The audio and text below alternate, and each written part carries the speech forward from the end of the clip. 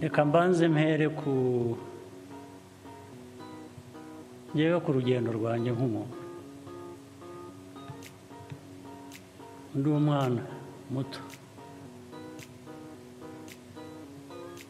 Bamwe hano bagomba kuba banzi ntabwo ari benshi. Bagomba kuba ari bake. Bari mu myaka nk'iyanjye bashobora kumenya ibyo ngibyo.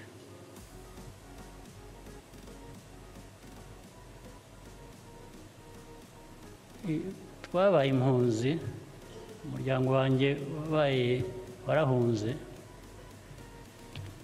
Eh, mfite imyaka ine aho ngaho.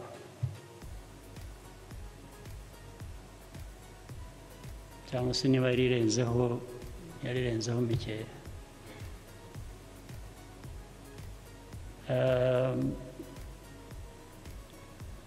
duhunga ibyo abantu uko abantu bose bahungaga iyo abantu bahunga nta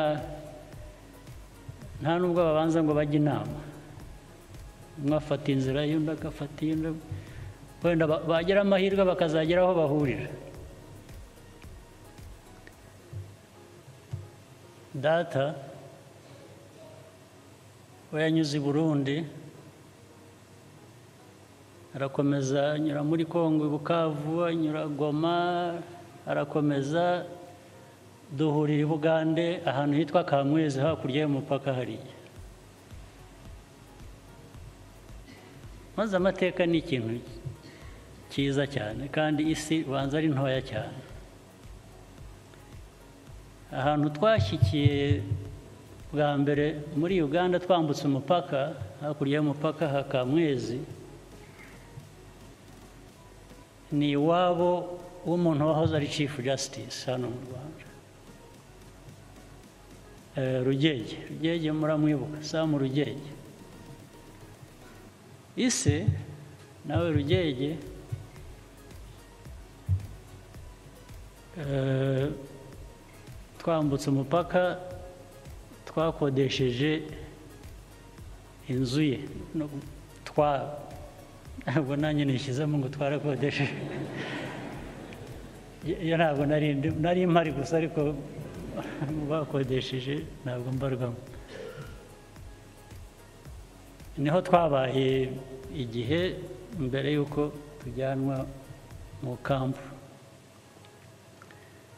muri ankore muri ankore ahantu za isingiro bitaga nshungerezi. Niho twabanje tuvuye aho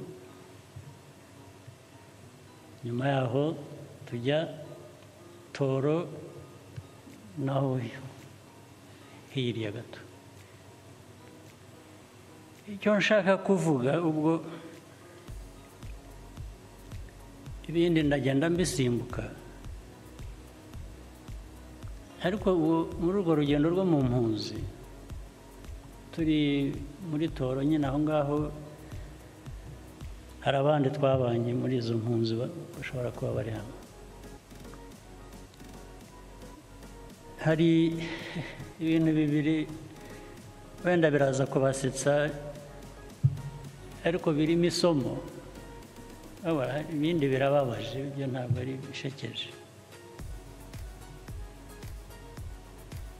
icya mbere njye nk'umwana muto ikintu nahigiye kandi nkigiye umuryango.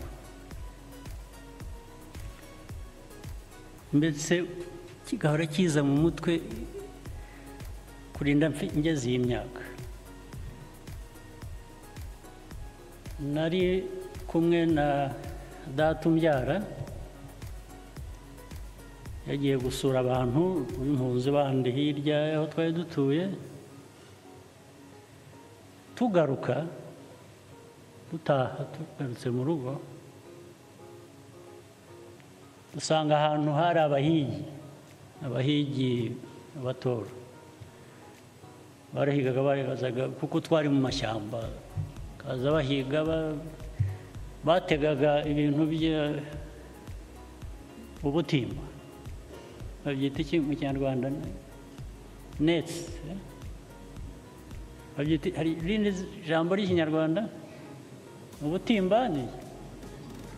ntabwo numva eh? Inshundura. Yari imitego ariko y'imigozi. Eh, imitego y'imigozi noneho bagahinda inyamaswa zikagenda zigategwa na ya migozi zikagwamo imigozi ika- ika- ikazihambira bakaza bakaza. So tugenda tunyuraho dusanga aho abahigi bari bari.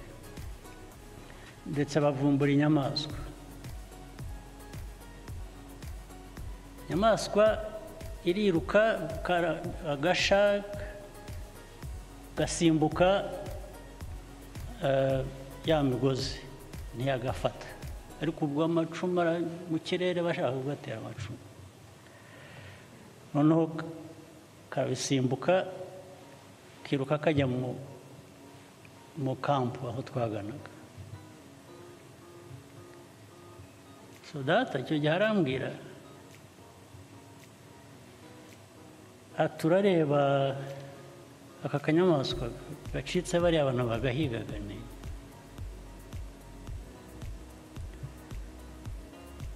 ati buriya ati ntuzi ko dufite ibibazo mu mpunzi hano tutagira n'ibyo kurya. Ati, buriya tugeze mu rugo tugasanga kinjiye mu nzu kahungiye mu nzu yacu. Atuzi ko nta burenganzira dufite bwo kugafata ngo tukabage tukarye kubera ko dushonze?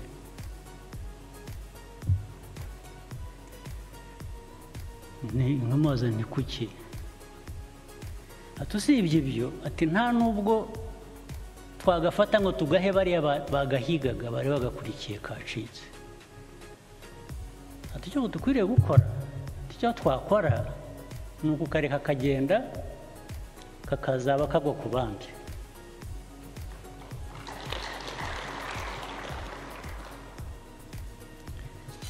Eh, buri gihe icyo kintu cyakomeza kukinza mu mutwe kugeza n'uyu munsi.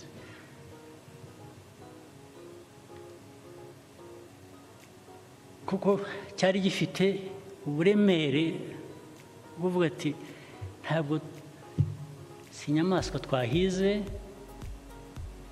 yacitse ira- ira- irahunga irahungisha ubuzima bwayo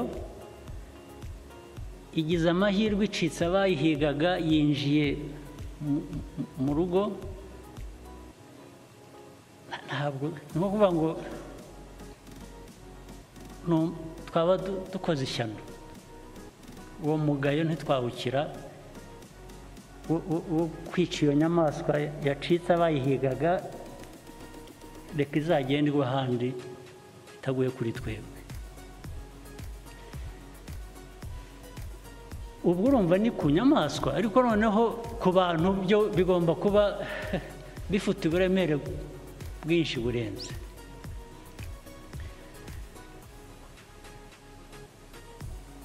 Eh, ubwo icyo gihe ubwo data bambwiraga ibyo Eh, yashaje mfite imyaka mikeya muri mirongo irindwi na kabiri.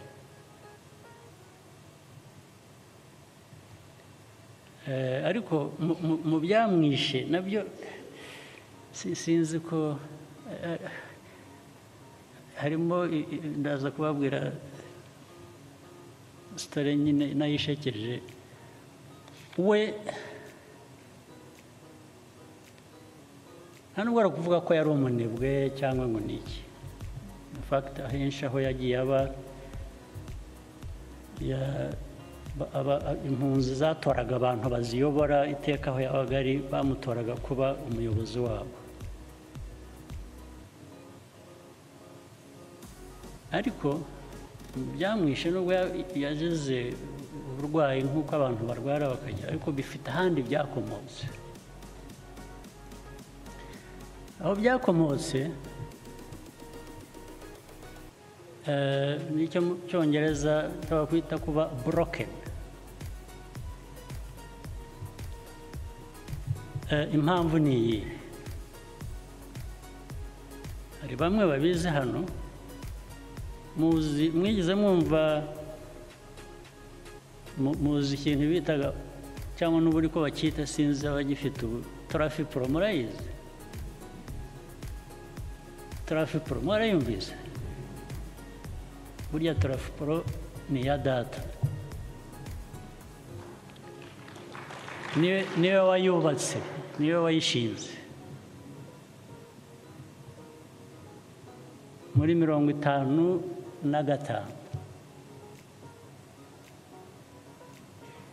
Eh, amateka ni igitangaza bifite n'ibipapuro byabo by'abantu b'icyo gihe na sinya iriho. Ariko baje kuyimwambura muri aya mateka y'u rwanda. Bamwe bayungukiyemo bayimenyemo baracyariho bamwe barahari. Hari n'abo nagerageje kwegera ngo mbabaze n'ayo mateka bakampunga. Ahubwo nti- ntibashake kuyambwira. Ariko hari n'abandi bayambwiye. Ariko harimo abantu bamwe mushobora kuba muzi ubwo data amaze kuyishinga ya- yasoshetinze yashyizemo abantu bitwa hari umugabo witwa gaposho kugira ngo bamwe muramuzi. Se yitwa mm, mbuguje. Akaba murara. Murara ntabanza atakiriho. N'abandi bari yayishinze nibo bayishinze n'amafaranga arahari yayishyizemo n'aba- n'abandi ko yabazanye mu rutonde rwabo bari nka barindwi. Abo nibuka ni abo babiri. Buguje na murara. Igihe cy'ubukoroni abantu kwa ba kayibanda n'ababirigi n'abasuwisi barayifata barayi yari yayubatse bayimwambuye muri mirongo itanu n'umunani cyangwa n'icyenda. Mirongo itanu n'umunani ngira ngo. Irakura iba muzi- abayizi Eh, kera nabwo muri mirongo irindwi eh, na karindwi. Mirongo irindwi na karindwi mirongo irindwi n'umunani itangira naje hano mu rwanda. Njya mu iduka rimwe rya tarafipuro kubera ko aya mateka na yo narayumvise. Gusa kureba ibirimo usanga baragurishamo ibintu byinshi. Amakarayi ama- amakarayi amabesene amasabune ama- ibintu byose ngira ngo byagurishwagamo. Kuba yarabi yarabi yara- yarakoraga nk'ibyo hanyuma yacuruzaga ni n'ikawa Ya- yacuruzaga ikawa ka exporting so yari yari yes by any standard. Now story rero nza kubagereraho ni. Iki ubwo turi mu mpunzi and how he, he was broken? Yisanze mu buzima mu mutwe we yumvaga ntacyo yagukorera kugira ngo abubemo ahubwo yahitamo gupfa. Mean? Icyo bivuze ni iki? Mama we nawe ntabyo yari amenyereye ariko yafashe isuka arahinga kugira ngo tubeho.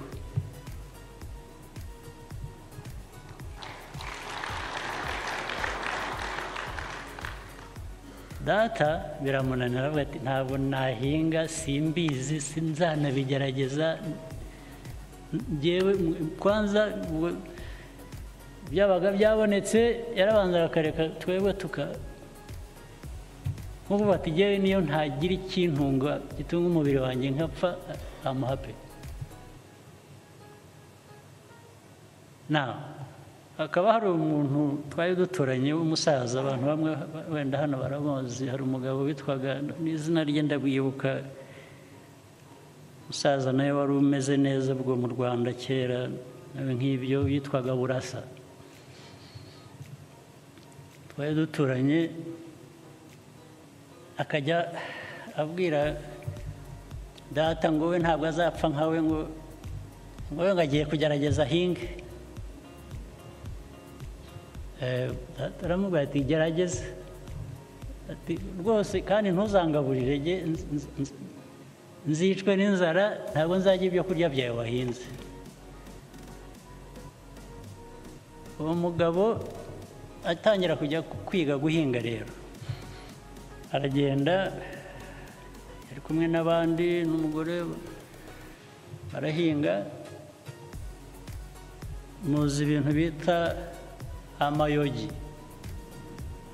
Amayogi those small hills bashyiramo imigozi y'ibijumba.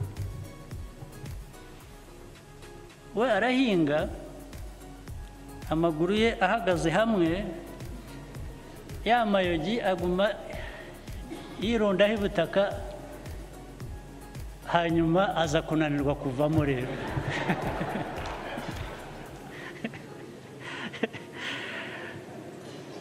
ariko agakomeza agahinga akabona abandi bo barakomeza baravamo.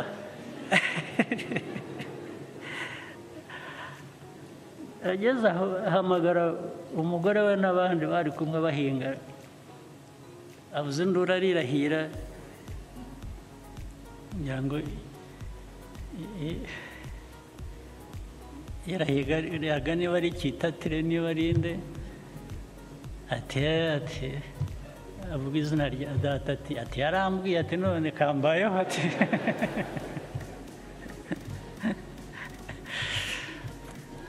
so hagombye kujya abantu kujya kumuvanamo kuko ntabwo yari azi ko yatabye amaguru ye yombi ageze hejuru y'amavi yashyize amayogi bakababaza ati ariko mwe muvamo muti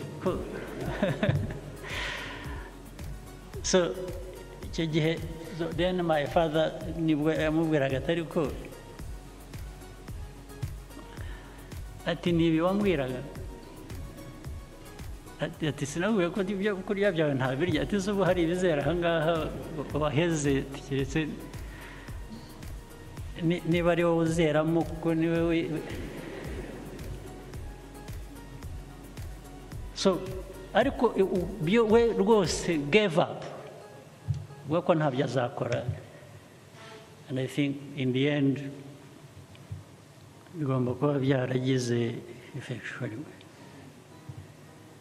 ibi byose ndabivugira iki cyangwa icyatumye mbibabwira ni iki mu buzima bw'umuntu mu buzima bw'umuryango mu buzima bw'igihugu.